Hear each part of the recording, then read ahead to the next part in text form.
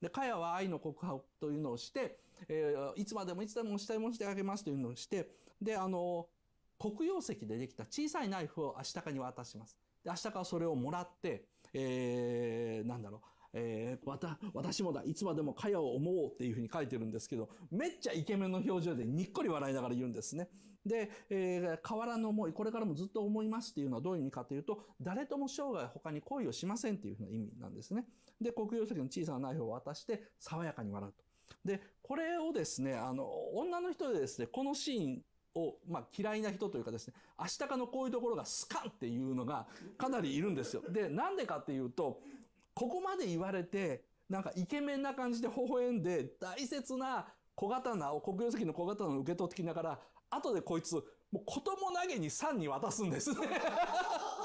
自分が次に好きになっちゃった女の子にですね、同じ石田ゆり子が声優してるもんですからですね、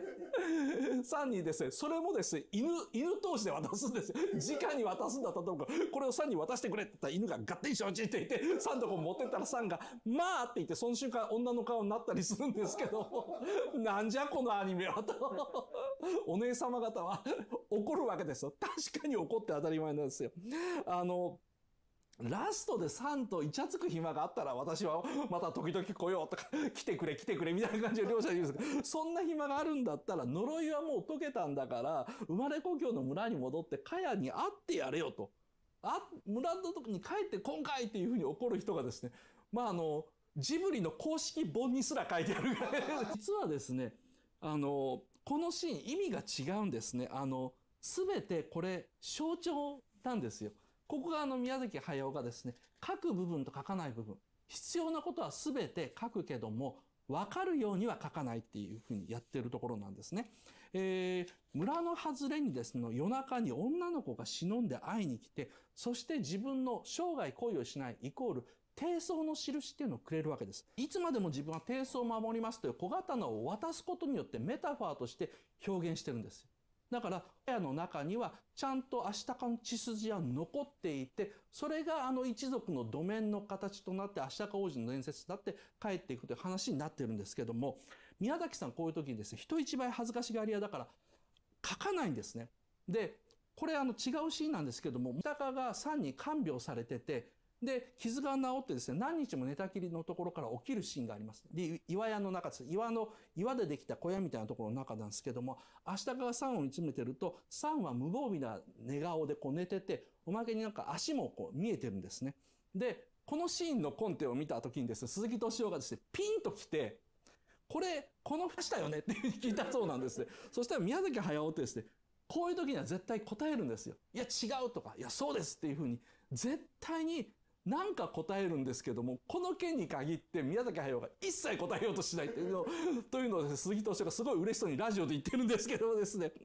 あの、いつも明確にそうですとか違いますという宮崎駿がですね、こういう番ってだけはですね、絶対答えないと。で、問い詰めると、その書かなくても分かりきってるじゃないですかっていうふうに 言ったそうなんですけども、そういうことなんですよ。宮崎駿の今回、もののけ姫で撮っている表現技法っていうのは、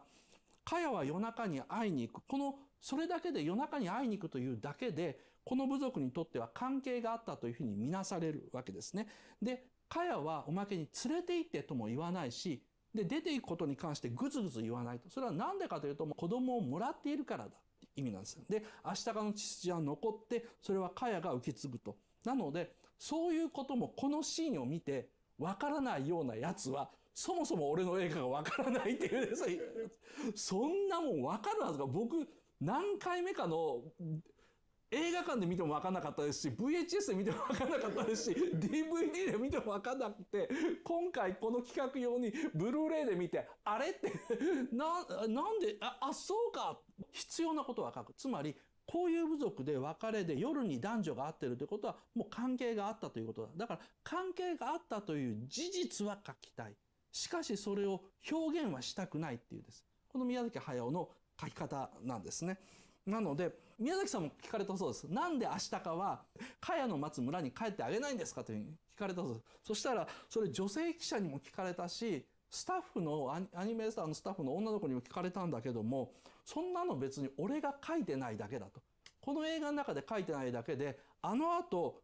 それはもう、アシタカはあの村に帰ったかもしれないし、それどころかサンを連れて帰ったかもしれない。サンを連れて帰って、カヤと合わせて、カヤとサンと両方嫁にしたかもしれないというふうに言ってるんです。なんでかというと、それがこの世界だし、そういう話なんですと。王族の話だからそうなんですっていうふうに言ってるんですけども、やっぱりあの、そういうこと僕らは言われてみりゃそうかな。あ、古代日本の王だから確かにそうかなって思うんですけど、それ言われるまで思わないじゃないですか。現代人の感覚で見てるから、サンを連れて帰って両方嫁にするって何よっていううに思っちゃうが、この後ですね、えー、村を出ると夜が明けます。村を出てずっと走ってると夜が明けるんですけども、あの音楽が盛り上がってね、めちゃくちゃこれね、綺麗な夜明けの風景なんです。だからで、このシーンですね、宮崎駿はですね、音楽の久石譲と背景の担当者にわざわざ注文してるんですね。え、明日かの心の中は今何かっていうと、絶望と怒りと悲しみで真っ黒ですと。だから、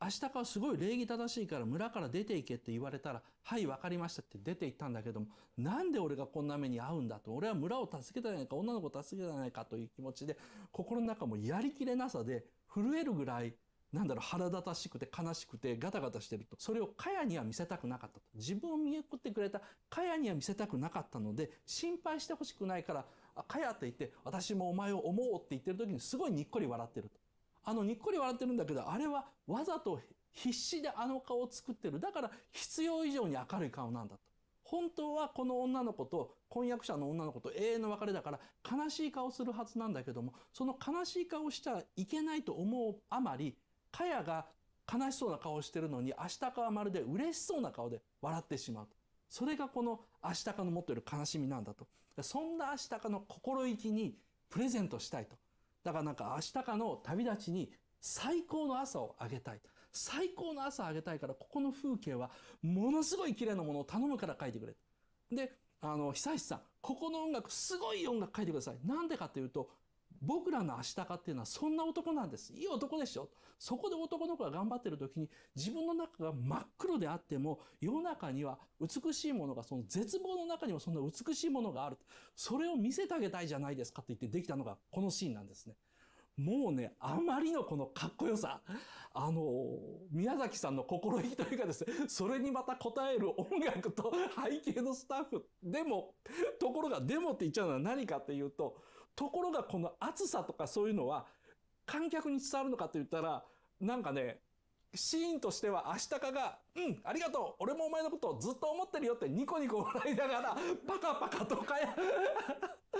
う、馬みたいな鹿みたいなやつに乗ってて、その後、壮大ないい音楽、久石城が渾身の力を 込めて書いた、明日か石器っていう、その名前、明日か伝説って名前の曲なんですよ。その曲がかかって、いい風景がずーっと続くから、結構明日が楽しそうに見えちゃうんですよ。内面の真っ黒な、どすぐらい絶望の中にありながら、この世界は美しいんだっていう宮崎さんのメッセージが、何かさっき言ったお姉様方のですね、お前なんだかんだ言っても楽しいんじゃねえのかっていうふうに見えちゃう。なんかね、そこら辺のその、もののけ姫というタイトルにしたからなんですよ。もののけ姫ってタイトルにしたから、この村の地味な女の子の次には、もっといい女が待ってる。